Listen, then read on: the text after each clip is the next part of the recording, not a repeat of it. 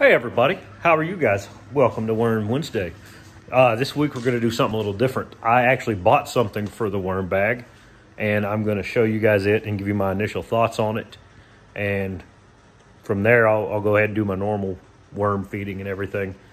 But the thing I bought is, it's upside down, of course. It's Probably going to spill. It is uh, Frabill Super Grow worm bedding.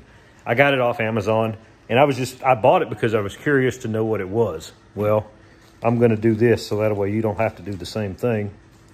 You won't be buying out of curiosity. This is what it looks like. It is just paper. Really finely shredded and chewed up paper. Which is cool, whatever. Uh, I just didn't know what it was and I was curious, so I wanted to check it out. Sometimes I don't like sifting peat moss and, and using peat or coco coir, so having that on hand will make it make it pretty easier. I did not follow the directions for putting this stuff together. I just soaked it in water and I'm going to flip the camera around and I'll show you what it looks like soaked in water and give you a little bit of a talking to about that. Okay, so here it is in my handy dandy bucket of water. It is very absorbent sure you can hear and see the water coming out of it. I think it'll make a pretty nice bedding. Um, I think mixed up with some coco coir or some peat would be awesome to kind of fluff it up a little bit. The directions say, so the directions say to mix one and a half quarts of water to each pound of this worm bedding. Um, I didn't do that, obviously. I just dumped in some water and put that in there. So it's probably a little bit wet because I know I didn't even get a pound of bedding in there. But that's fine. By the time I mix it with cardboard and everything else I use for bedding,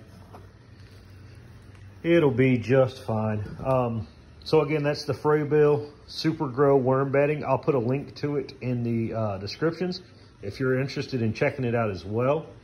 But let's get on with the regular worm. Say worm. Worm. All right, going into the vermi bag. If you remember last week, I fed this thing a, a, huge piece of watermelon rind.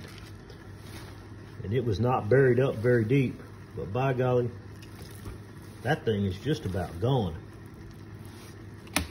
There's a little bit over here, but man, these worms, they did a number on it. I did not think I was gonna have to feed them today, just based on the sheer size of that watermelon feeding I've given them. But as you can see, there ain't very much watermelon left in there. There ain't very much of nothing left in there. What is that? Oh, an old apple. Of course an old apple because the thing wasn't popped open. So let's pop that open.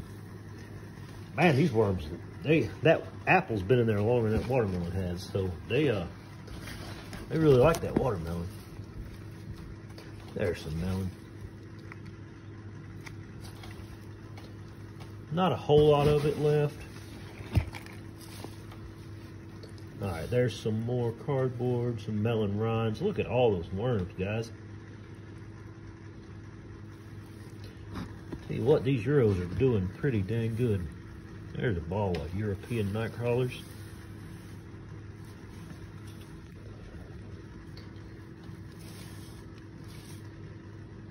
Looking good, guys. So there is enough melon in there that I don't think I need to feed them this week. I could probably feed them without any problems. Um, but I don't necessarily have to. So I'm gonna take a break right here and think about what I wanna do. If I, well, I'll come back no matter what I decide to do. All right, talk to y'all in a few. What? Worm. Uh-oh. Uh-oh. I did it. Okay, so I went ahead and decided to feed the worms.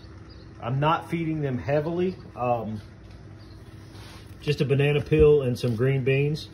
This stuff sprinkled on top is garden lime to provide some grit for the worms. Not a real heavy feeding. There's still a little bit of watermelon in there and there's lots of bedding and I am about to add more bedding. So that will make this week's feeding, I mean, fairly large if you factor in bedding. So for bedding, I've got the, the Frabill stuff I showed you earlier. I've got a couple of drink containers. No, these are egg containers. The paper-based egg containers. And I'm gonna dump that in. Pretty good amount of bedding, but really it's just paper. Um, so we'll see what it does next week. Let me go ahead and dump that in there.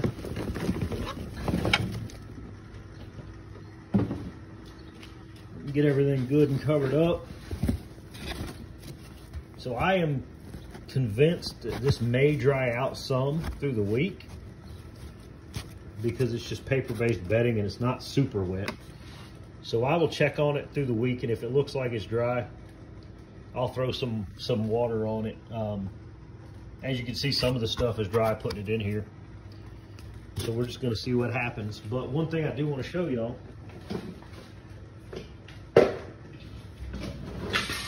if you have a big worm bag, do yourself a favor and get a garden sprayer from Tractor Supply or Harbor Freight, Amazon. I'll link one in the description so you'll know what I'm talking about. Just so you can keep uh, water on hand.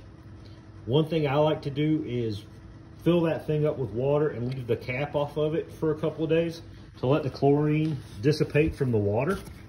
It will help stop killing off your microbes in the soil when you dump it in there. But there we go, guys. That's the worm bag feeding, and I will see you next week.